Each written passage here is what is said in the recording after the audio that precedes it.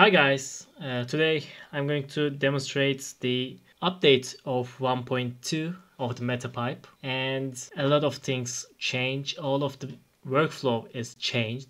I think you will like it. Let's show you what I did for this tool. So I will open up our 1.2 and as you can see it is now more simple than the previous version. A lot of buttons are gone and it is more simple, faster, better and more accurate transformations. So in this workflow you only need DNA paths and that's it. All of the other things uh, you will change in the code. So let's update it and open DNA Viewer. In this DNA Viewer, it is the same. I copy this path and paste this here, load DNA, select all, join blend shapes, skin cluster and go to DNA calibration, data, GUI, unlock, unlock GUI, and after assembly process, and it loaded and I will close this DNA viewer. And I think this is a one-time process. So you can go here, file, and save it as, I will save it to the DNA calibration data, uh, custom DNA and yes. So if anything goes wrong uh, go back to this scene and make your change from here.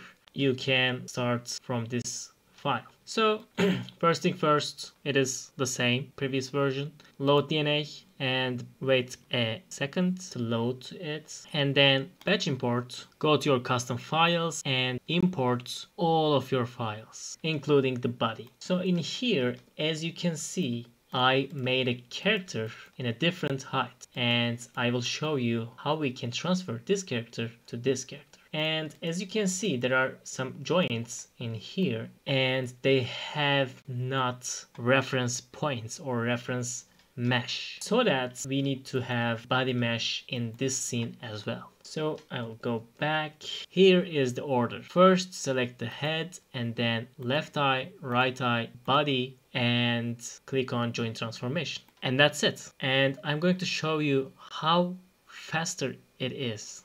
It is now real time calculating and you will see that it is like 10 seconds or 15 seconds, something like that. I won't clip this and as you can see it's done and let's see joints as you can see it is perfectly matched and I know that this kind of mount won't work. Uh, this is a problematic mount. I suggest that use regular mouth shape and don't use this kind of mount. But uh, this is a challenge for myself. I will uh, work on this and I will make it work for the MetaHuman. This is a, just a quick sculpt that I did yesterday in just one hour. It's gonna be challenging, but we'll figure it out. So as you can see, body is in the correct position as well.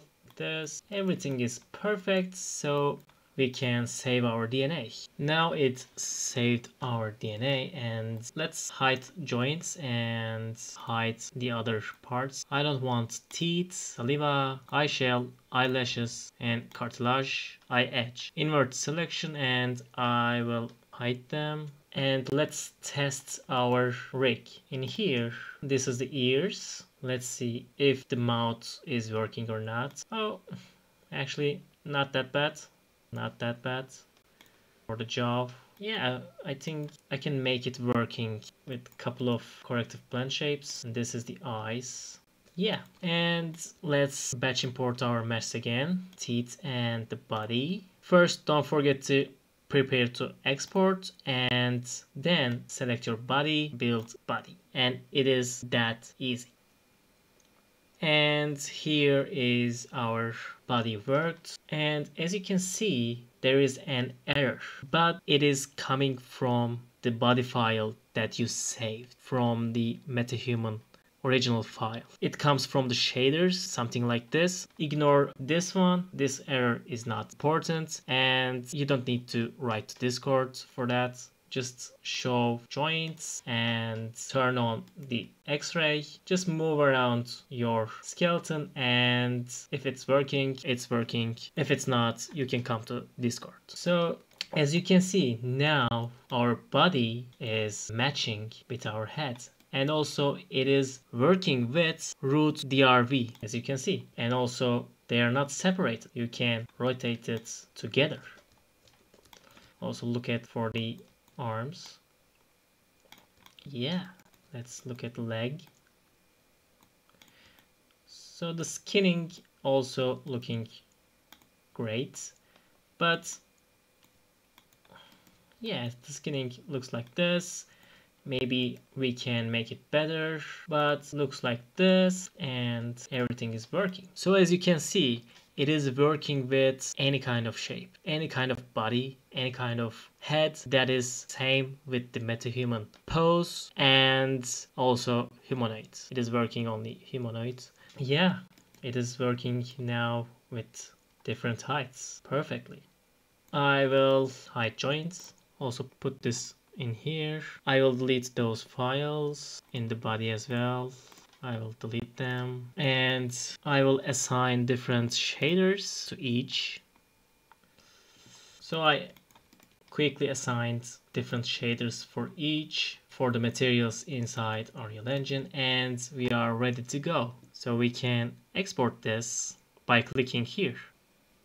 Now I'm in Unreal Engine and I prepared the file. It is same with the part 7 of the free tutorials. All of the process is same in here so I did not record it. And let's test it.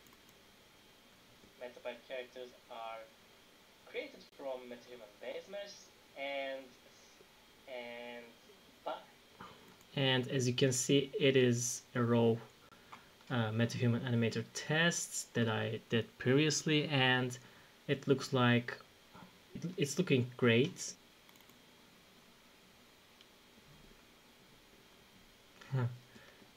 and this posing also great. And also I want to show you something. So uh, I didn't know that, but let me show you. In here, if I select the original skin material of the body or the head, the mesh is changing like this. I selected this one and this is happening. I don't know why it is happening, but if this is happening, go to materials and select the other material, the material that you didn't use. So I hope it will fix your problem and sometimes it makes some gaps. And if you just having this issue just change the material or create your own materials it will help a lot to fix that. And that's it. I hope you like it and good luck with your materials. Bye